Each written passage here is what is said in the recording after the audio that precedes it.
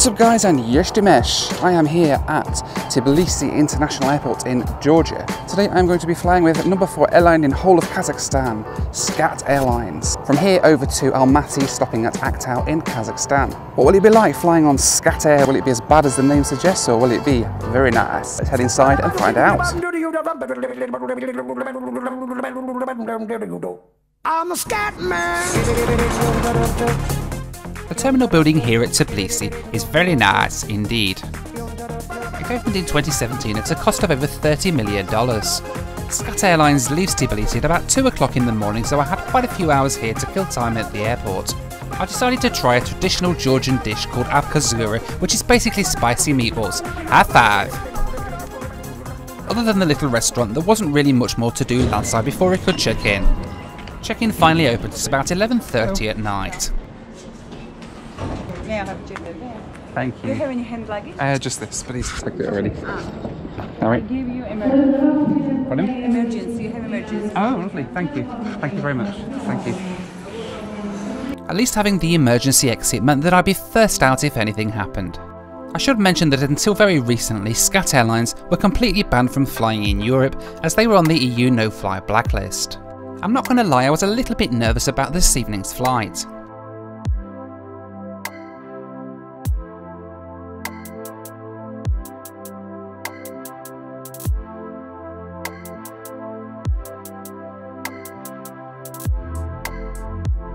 I headed across to the Prime Class Lounge, which I got access to with my Priority Pass membership.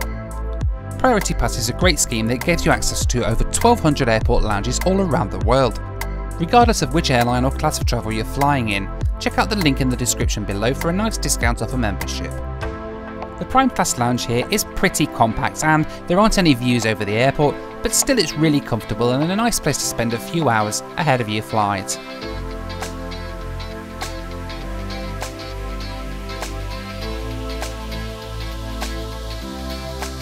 There's a nice range of complimentary food and drink here, but just remember that alcohol isn't self-service here and you have to go to the bar to get it. It's still free though.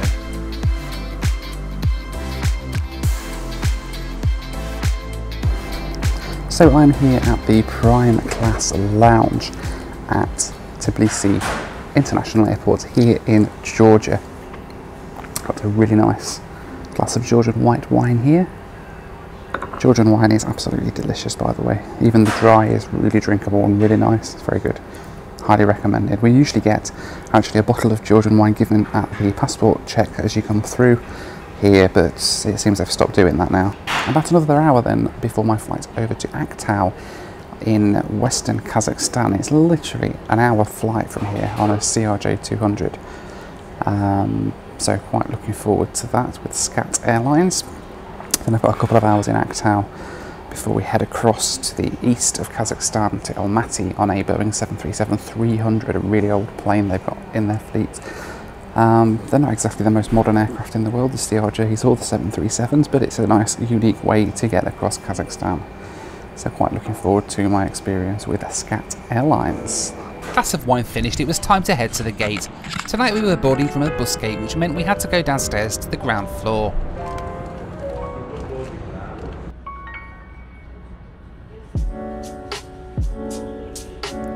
While I was waiting to board my flight, I got a breaking news alert on my phone.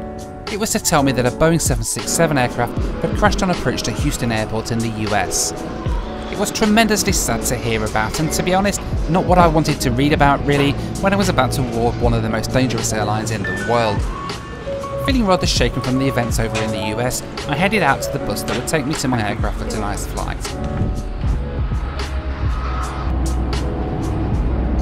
It was pretty cool to be driving right past the Antonov 124 that I'd seen on the ground earlier on.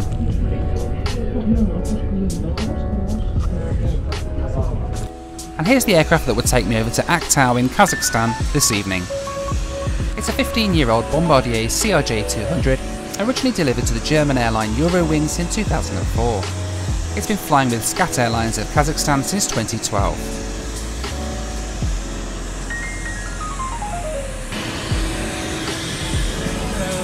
Once inside, the cabin looked fairly dated, but still relatively comfortable for such a short flight.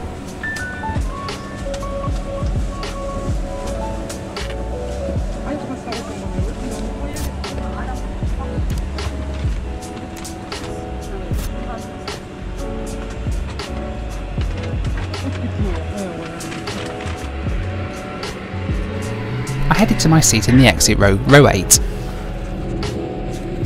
I don't usually enjoy the exit row because it means I can't have my bag under the seat in front of me, but actually the extra legroom was really welcome on tonight's flight. The window was rather predictably very scratched indeed. I won't lie, as we pushed back from the gate I was actually pretty nervous about tonight's flight. The flight attendant came around handing out pre-takeoff sweets, and also reminded me rather helpfully that in the event of an emergency, I'd be the first person off the plane. Great success. You are sitting right yes. to emergency exit. In case of emergency, uh, will be in uh, Yeah. assistant passenger. Yes. Please uh, read this instruction. Yes. Okay. So for the first time ever I actually paid attention to what he said and took a look at how the door opens and tried to memorise it as much as possible, just in case, you know?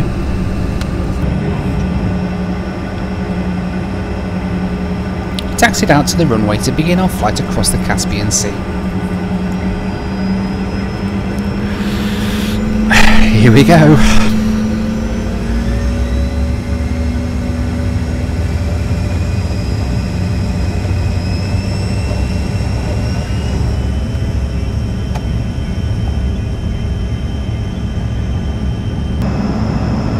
We lifted off into a beautiful clear sky overhead to Tbilisi, getting some great views of the city lit up at night.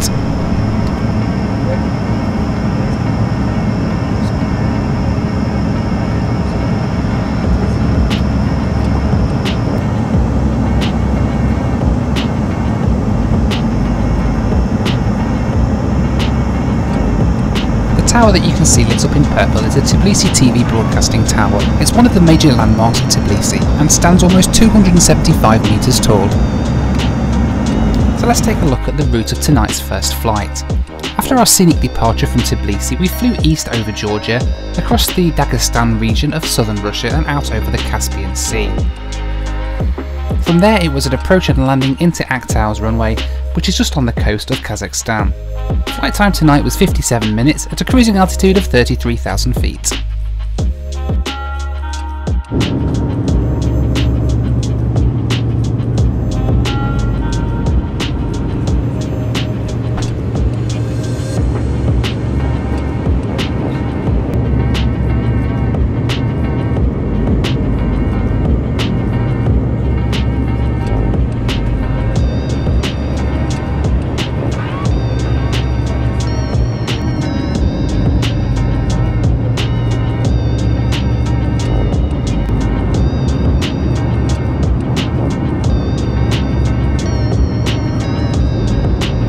It was a really short flight tonight, so there was just time for a quick drink service as we crossed the Caspian Sea.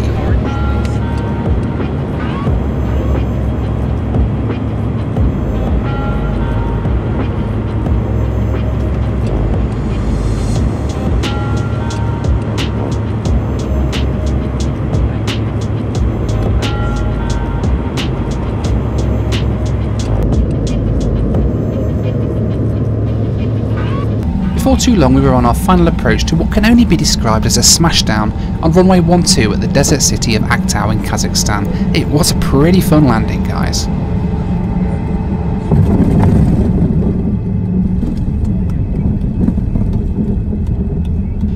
The rather nervous clapping from some parts of the cabin stopped as soon as it was clear that the pilot had no intention of starting to brake just yet.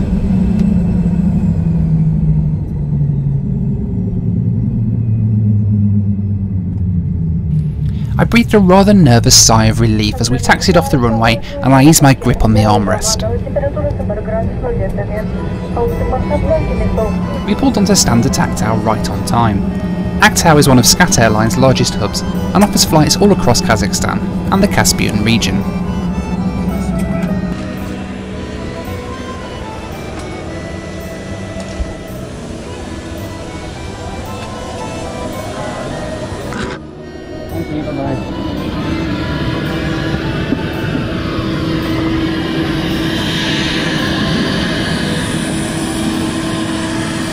It didn't take very long at all before I got my first telling off on Kazakh soil.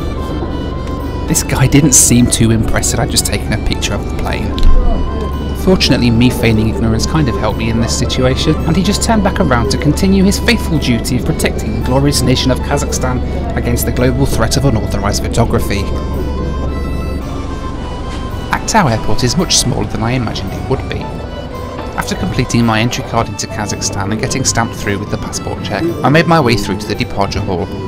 There's no airside connections here at Aktau, so you just have to go back through security again. It's a tiny airport though, so this really isn't a problem at all. I had about 5 hours ahead of my next flight, so I was really hoping to find somewhere to get my head down for a few hours. However, it seems that the only thing that you have airside at Aktau is this little departure lounge and a cafe at one end, so I was going to have to make do for a few hours sleeping here. There were a few other people sleeping on seats here in the departure lounge.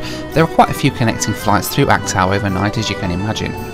I was, however, really surprised to find quite a few British people sleeping here.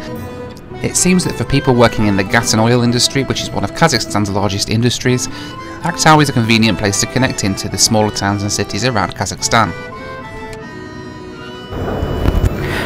Right, so I have about four hours until my flight over to Almaty, so I'm going to try and get some sleep. It's kind of three o'clock in the morning here in Aktau, Kazakhstan, and my next flight out is at like seven o'clock or something.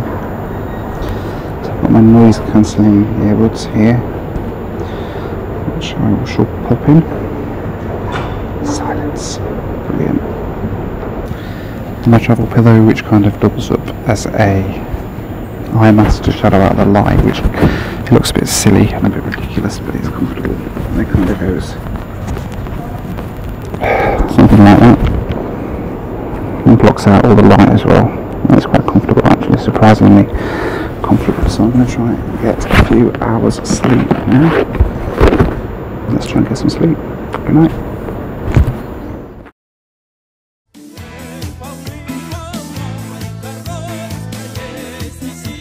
Okay, so it is 20 past 6 in the morning. I think I've managed a little bit of sleep, but not a great deal. Here at are? Aktau Airport in Kazakhstan. Just heard over the tannoy that my flight over to Almaty is delayed by about an hour.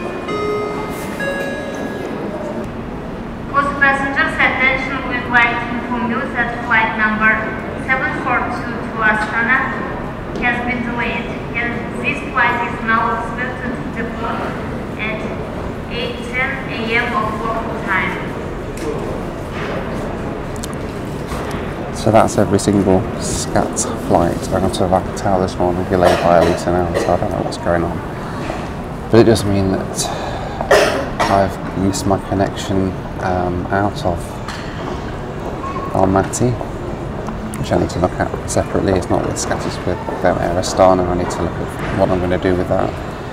Um, fingers crossed we can get that changed to a bit of a later time or something like that. Let's see. So, yeah, I think I might go speak to somebody and figure out what's going on and see just how delayed we're going to be getting over to Almaty this morning. But that was rather naive and optimistic of me. Of course, there was nobody from SCAT Airways anywhere to be found. My original plan when I got to Almaty was to connect down to Tashkent with Air Astana and then connect into Uzbekistan Airways for my flight back to Frankfurt. However, with the delay from SCAT Airways now reaching two hours long, I'd clearly missed this connection and I had no idea how I was going to get home at the other end. I'd originally booked about a 90 minute connection in Almaty, which I thought was plenty of time, but clearly in Kazakhstan there is no such thing as too much time. A little over two hours after our scheduled departure time, we were called for boarding via gate 202. However, all was not as it seems, and on arriving at gate 202, I was told that this was the wrong gate and this was actually a flight going somewhere else in Kazakhstan, so I made my way back once again to the departure hall.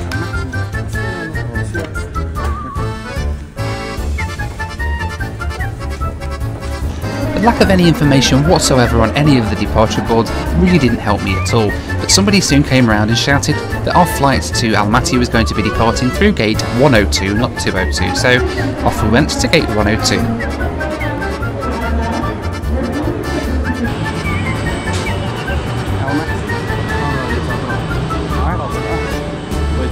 Once again I'd been sent to completely the wrong gate, but this guy told me to just stand around and wait when my flight to Almaty would be going pretty soon.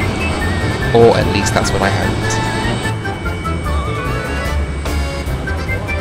Loads of other people here were waiting for the same flight as me, and fortunately I'd had the sense to ask the gate agent whether this was the right flight, as loads of people just ended up boarding completely the wrong flight and having to come back. It didn't help that they weren't actually checking the boarding passes as people were getting on the flights, they were just handing them all across and then scanning them all in once the flight had departed.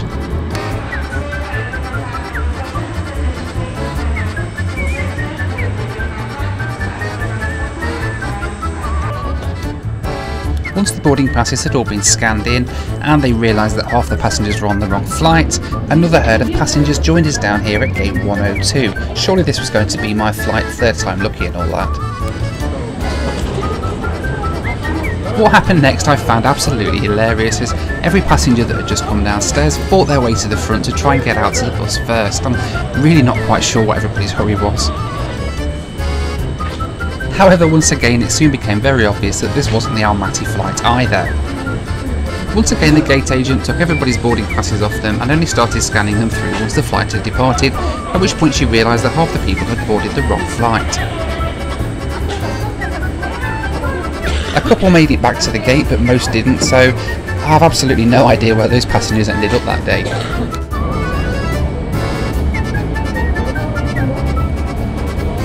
Finally, after waiting down at this gate for about half an hour, the flight to Almaty was announced for boarding.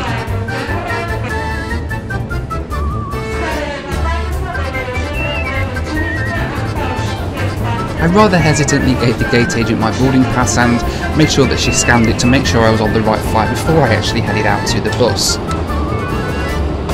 Thankfully, finally, it was the right flight.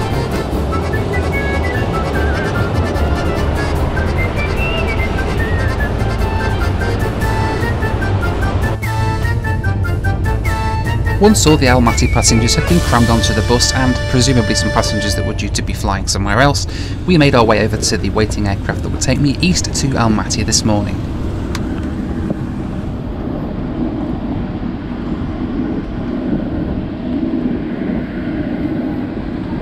My ride east to Almaty today was on this 21 year old Boeing 737-300, painted in Scat's shiny new livery. Unfortunately the inside of this aircraft wasn't quite as shiny as it looked from the outside.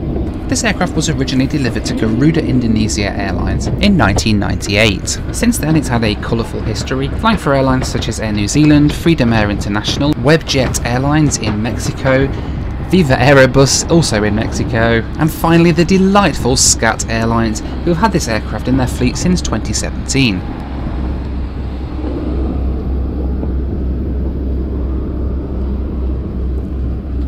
Once on board, you couldn't escape the luminous green seats and beaten up cabin that this aircraft still had. I don't think this aircraft has seen any renovation in the 20 odd years since it started flying.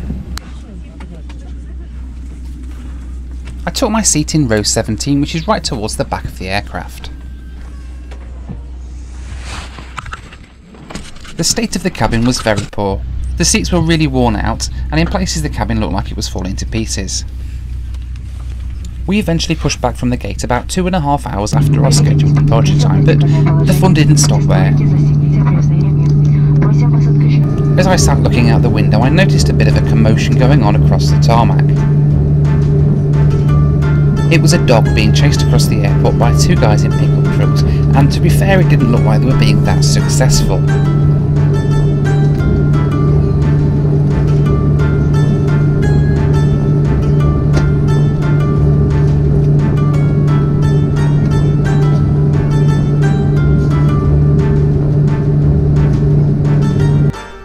Just wondered how much more excitement we could take on this trip as we taxied out to the runway here at Aktau.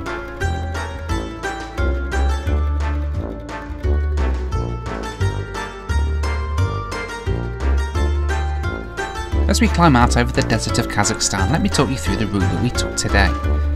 After takeoff we flew northeast towards the Uzbekistan border, across the north of Uzbekistan and then directly east across the plains of Kazakhstan to Almaty. Flight time today was 2 hours 40 minutes at an altitude of 33,000 feet.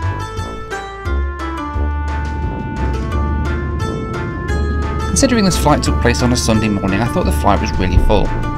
SCAT Air are one of the largest domestic airlines here in Kazakhstan and a lot of people use it as it offers the cheapest fares, generally compared to the other airlines.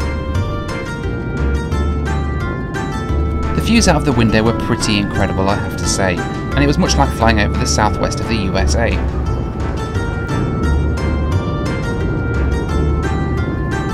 As the breakfast service started, I began to wonder what delights I'd have facing me today for breakfast. This delightful meal is what I had for my breakfast today. It was sweet pancakes with some sort of meat substitute product in it, with some sort of random cheese slice placed on the top, and also a cake which was ominously named Boom. Not really the sort of thing I want to see when I'm flying. The food tasted absolutely revolting. I didn't even manage a full mouthful, I have to say. I drank the watered down orange juice and gave the rest back to the flight attendant. I was absolutely starving, but I wasn't that hungry that I was going to eat that.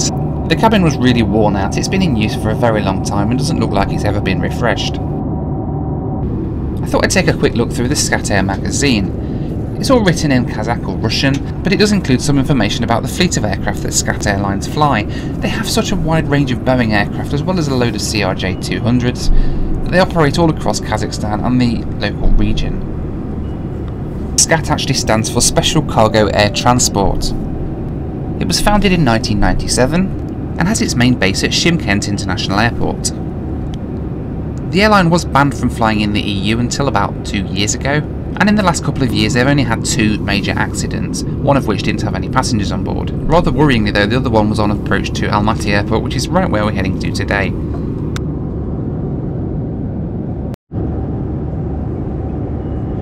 SCAT does seem like a really popular choice for people flying around Kazakhstan cheaply. The skies over Kazakhstan are pretty busy and we did pass a couple of other aircraft, making their way down to China which was just to the south of us, or heading west back to Europe from the Far East.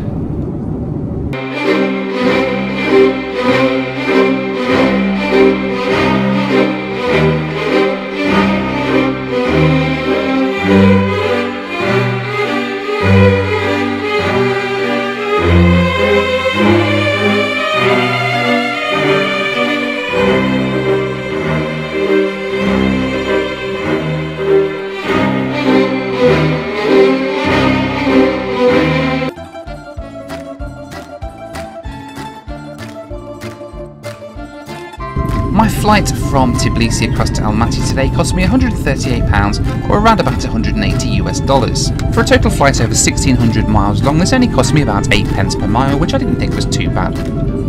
Air Astana on exactly the same route from Tbilisi to Almaty via Aktau charged well over £300. So it's clear that SCAT are one of the cheaper options of getting around Kazakhstan by air.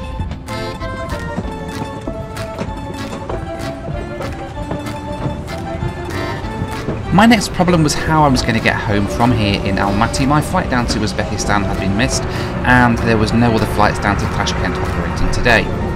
It was time to decide how on earth I was going to get back home to the UK from Almaty. My original flights with Uzbekistan Airways via Tashkent had now been missed, and I was effectively stranded here in Almaty until I could book another flight. I had a quick look through the departures board and it seemed that most flights were heading up to Astana, and I hope that if I got up to Astana I might be able to find a way home from there back to the UK. Check out my next video to find out how they got home. In the meantime, thanks very much for watching, let me know what you think to Scat Airways in the comments section below. Dziękuję, and see you next time here on In-Flight Video.